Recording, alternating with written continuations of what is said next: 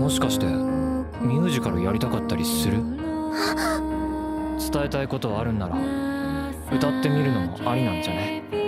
野球やんねえと時計が止まってるみてだ。私も応援する。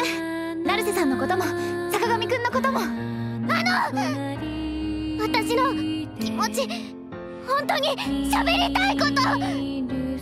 心が叫びたがってるんだ。